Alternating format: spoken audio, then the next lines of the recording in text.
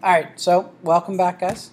Um, and what like I say, I want to spend the first probably about 10, 15 minutes going through the syllabus and seeing if you guys have any questions on that. Um, so, top is always sort of, you know, the boilerplate kind of stuff. Um, you guys all know how to get a hold of me.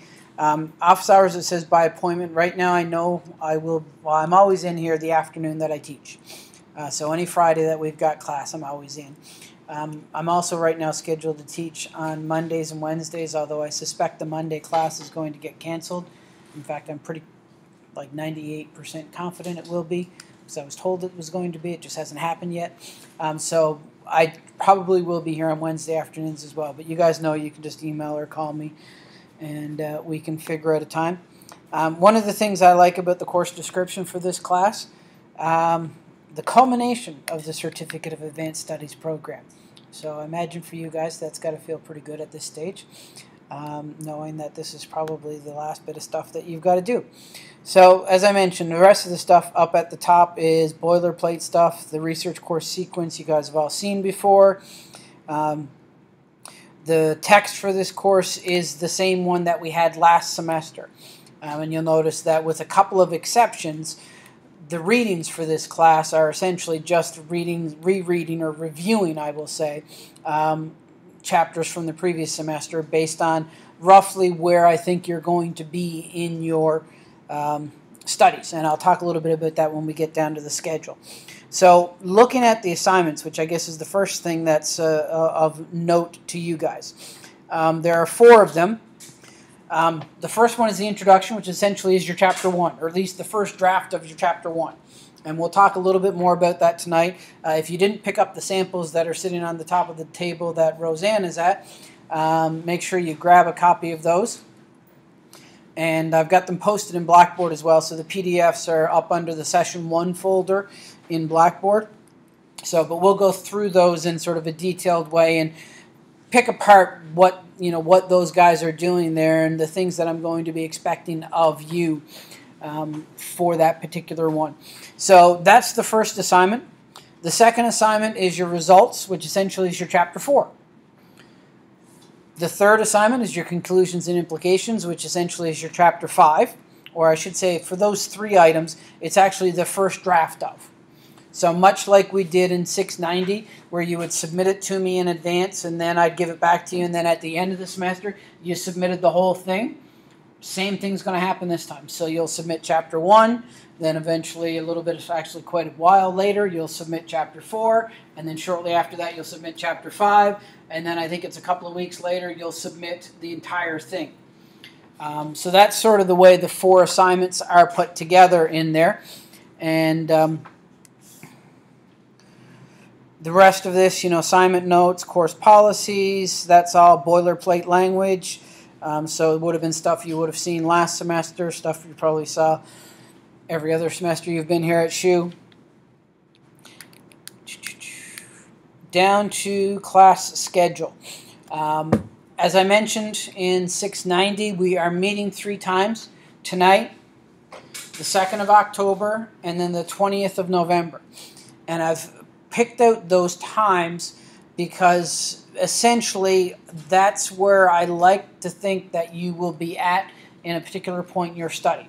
So, right now, most of you, at least those of you that have gotten your 690 work cleared and are ready to actually start your study, um, and if you've gotten a grade for 690, that means you're clear and ready to go. Um, those of you that haven't, um, we're working through this, hopefully. I know some of you have been a little bit more communicative than others over the past six weeks. Um, and I'll mention, talk about that a little bit in a second. So basically, tonight it's sort of getting you ready to get started. So we're going to look a little bit more about data collection. Um, I've got a couple of activities, as I mentioned, that you know are going to give you essentially getting you ready for them. Um, the one when we meet in October, that's really by then you will have some data. You might not have all of your data by then, but you'll have some of your data collected by then. So we're going to really focus that class upon both how do we manage and analyze this data, and then essentially what does your chapter 4 look like? Like how do you present this data in a results chapter? and that'll largely depend upon the nature of your data, if it's qualitative or quantitative, and you'll I'll show you ways in which you would present both of those types. The November class, or class three, that's going to be looking at you know bringing it all together for the most part. Um, you know, particularly with a focus on that chapter five. You know, what goes into the conclusions and implications, and then how do I really tidy up, you know, my chapter four based on the feedback that I would have gotten. So you'll note what tends to happen is that the assignment dates are due after the classes, as you can see in many cases, several weeks after the classes. So the first one is actually due in three weeks' time. So your chapter one is due in three weeks. Um, your chapter four is due the 13th of November, which is going to be, I think, about six weeks after that October class. Because my guess is, is that most of you will likely have all or most of your data collected by the end of October or so. I know some of you are probably going to spill out a little bit into November, but you know, ideally you'd have most, if not all of it, done by the end of November, or sorry, the end of October, first week of November kind of time frame. Um, and then, if you, whoops, sorry, I'll go down a little bit further. And then for session three, you'll note that we meet essentially the Friday before Thanksgiving and then the Friday after Thanksgiving, not the day after, but the eight days after, is when the first draft of your chapter 5 is due. Uh, so by then, you should have had feedback on your chapter 4, so you should essentially know what the results of your study are at that stage. So then you can start talking about um, you know, the three things that need to be included in, in chapter 3. Um, and then from there, essentially, I'm hoping to turn those chapter 5s around really quickly, as you can see because your actual thesis is due a week later. Um, I'd like to make it two weeks later, but I've got to get grades into the register um, before they head home for Christmas. And uh, so I need to get those uh, back within a week because ideally I'm going to have 10 150 word, 150 page, 200 page documents, uh, some 120 uh, that I've got to go through. So, um, you know, it's going to take a few days to get through uh, them. So that's sort of where we are. Now you'll note, again, this is a three credit hour class that only meets three times. Like 690, the idea is that in addition to these class meetings, that you and I are going to be working together throughout the semester. You know, so as you start collecting data and you're starting to sift through it and stuff like that, you know you want to be scheduling meetings with me either in person or on the phone or uh, using skype or google chat or something so that we can start to go over this kind of stuff. So that way come the 11th of december you'll have this ready to go. I mentioned that and i'm going to stress that because some of you did a very good job of that with 690 um, you know scheduled out meetings and some of them you know while they haven't finished all of the 690 stuff yet you know we've got meetings scheduled out and we've got a deadline and stuff and, and, that's great. That's the way it was supposed to work. Other folks kind of went awol. And you know the mid part of july when the last time i saw you was the last i heard from you.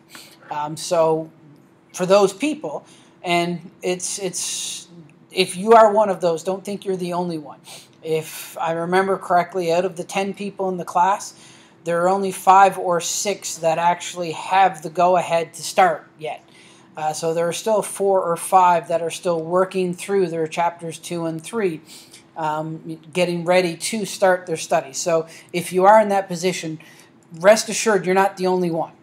Um, you know, because I know that when you're, particularly when you're doing this kind of independent work, you can often feel like that you're the only person that's gotten behind and everyone else has got their act together so much and they're all on the ball and they're all ready to go and stuff like that. No, that's that's not the case. You are about the norm because if half of you are ready to go and half of you aren't, that means that the average is something somewhere there right in the middle. Right? So um, you know, if you are part of that group, don't worry about it. Um, obviously, we want to get things clued up with your proposal uh, as soon as possible so we can make sure that you're in a position to finish 691 before the end of this semester. But uh, beyond that, you know, don't fret yet. Um, having said that, again, keep in mind that we've got three scheduled classes, but I expect to be interacting with you throughout the semester. Um, you know, now depending on the nature of the data you've got and the type of plan you've got put together, some of you are going to, you know, be interacting with me a little bit more than others. Um, you know, those of you that are generating more data probably be interacting with me more than those of you that are generating less data or mul- more multiple forms of data uh, likely be interacting with me more.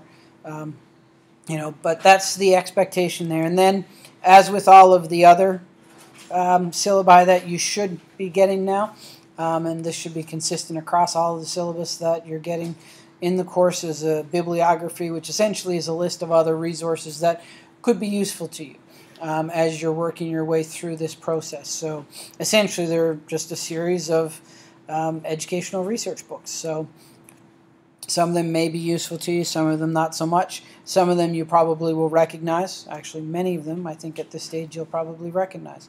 Um, any questions about the syllabus?